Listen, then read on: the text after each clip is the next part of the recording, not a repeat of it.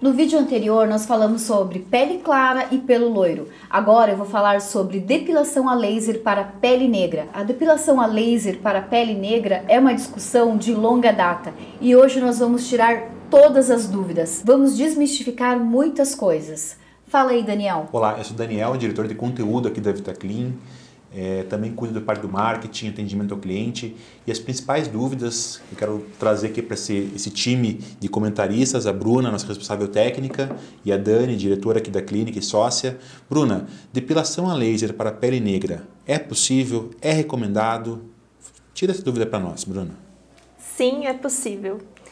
É, isso é um mito, né, de que peles morenas, negras não podem realizar o procedimento de depilação a laser. A tecnologia avançou muito, mas principalmente o conhecimento acerca desse tema. Né? Os profissionais hoje estão com mais prática clínica e conhecem muito mais sobre essa tecnologia para poder entregar esses resultados. Então, a pessoa que quer fazer, né, a pessoa pensa, ah, tenho medo de queimar, tenho medo de manchar, é, tira isso da cabeça, tá? Porque com certeza você consegue ficar sem seus pelinhos. Então, Bruno, existem três tipos de laser, certo? O Alexandrite, o diodo e o laser ND-YAG. Nós falamos isso no vídeo 1 da nossa série de vídeos sobre depilação a laser. Qual que é o indicado para pele negra? Então, né, dentro do que existe hoje de tecnologia a laser, o mais indicado é o comprimento de onda ND-YAG, que é o 1064. Esse é o perfeito para pele negra, tá? A pessoa vai ter resultado e com segurança. O laser de diodo também pode ser utilizado na pele negra, tá? Mas de primeira escolha a gente fala do ND-YAG é, com resultados fantásticos. E quantas sessões mais ou menos? É, então, por se tratar né, de uma pele é, morena, negra, que o tom é muito parecido com, com o tom do próprio pelo, para o laser saber que ele está pegando exatamente o pelo e não se confundir com o tom da pele, a gente usa frequências mais baixas, energias mais baixas. Consequentemente, o número de sessões é maior também. Então, podemos falar aí de 8, 10 até 12 sessões de tratamento. E quais os cuidados da pele negra com a pele clara? Porque as pessoas acham, têm uma ideia que a pele negra é uma pele mais resistente, mais forte.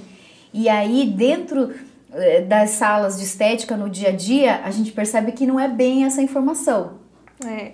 Os cuidados são os mesmos, tá? As mesmas recomendações para pele loira, para o moreno, moreno claro.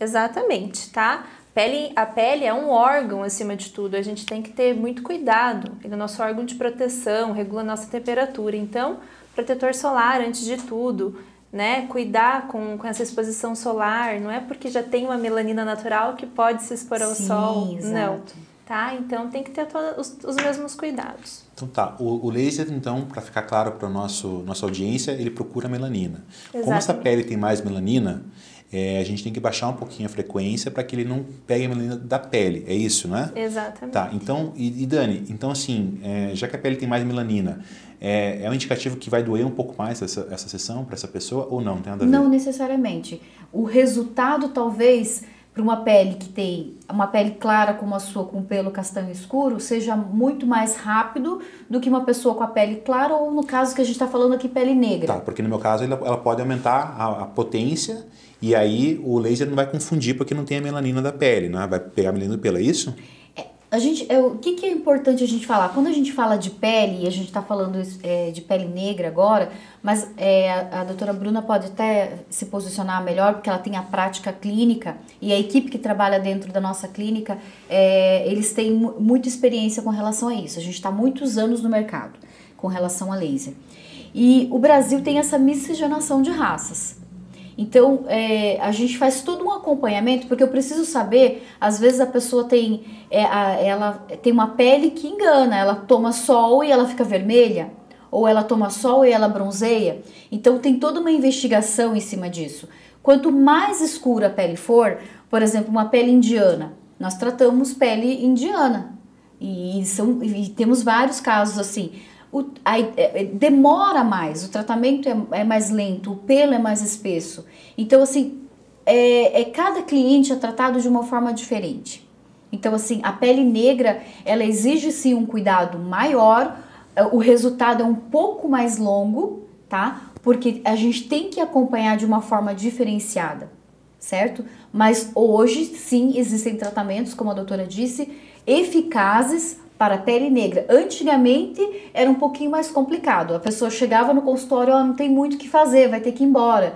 Então ficava frustrada ou frustrado, mas hoje não. Hoje a gente já consegue ter tratamentos extremamente efetivos para a pele negra. É que os lasers, né, Bruna, para a audiência entender um pouquinho, e eu como diretor da empresa posso falar bastante sobre isso, a tecnologia ela vem cada vez aumentando, então assim, o, o é, não vamos deixar muito técnico, mas assim, o laser ele tem um pulso menor, um pulso maior. Explica um pouquinho o que, que tem acontecido é, ultimamente em 2019, 2020, nos lasers, para ajudar esse público, esses casos específicos. Lógico, a fabricante lá atrás está preocupada em fazer tecnologia, desenvolver tecnologias para chegar e atender a todos os públicos. E o que se tem visto hoje de novidade no, no Alexandrite, no Diodo, que é que está sendo colocado no mercado, que a clínica já tem, mas que outras clínicas também podem ter aí no mercado?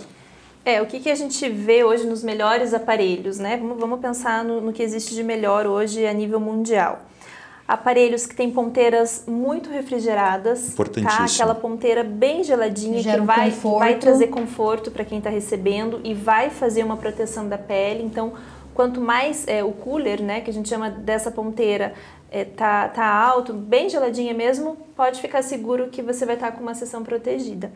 E a forma desse disparo, a forma de entregar esse laser na pele também, a velocidade com que ele, com que ele é entregue, né? Hoje é, a gente já fala de lasers de nanosegundos, picosegundos, que são lasers é, muito rápidos, então o, dan, o dano da derme que a gente fala, da epiderme, é, quase que não existe e, e cumpre com, com a sua função a ali. A pele não sente tanto, né? Exatamente. Ele traz um impacto forte, mas num, num tempo de pico que é menor que o Menor, nano ainda, menor. e aí não, não danifica o tecido, é isso? Exatamente. Uhum. Ótimo, legal. Bom, eu acho que a gente desmistificou as maiores, as maiores dúvidas, né, Dani, sobre a depilação a laser para a pele negra, né? É, explicamos para nossa audiência e para buscarem empresas que estão com tecnologias de ponta hoje no mercado, trazendo é, essas novidades, né? E que, que tenham prática clínica, né? Que possam atender essa pessoa e não simplesmente falar assim, não, depilação laser não serve para você, porque acaba ficando esse, esse, mito, né? Que depilação a laser para pele negra não funciona. É porque algumas clínicas não têm tecnologia para atender essa pessoa. Eu acho que aí tem que ficar bem claro. Tem que falar assim, olha, nossa tecnologia não atende você. Existem outras clínicas que atendem você com tecnologia e com eficiência, né? Exatamente. Perfeito. É isso. Gratidão, Bruna. Gratidão, Daniel. Pessoal, gostaram do nosso vídeo? Ficou interessante? Ficou alguma dúvida? Talvez a gente não conseguiu falar sobre tudo, mas se você ficou com dúvida, deixa no comentário, eu vou ter o maior prazer em responder vocês. Um beijo!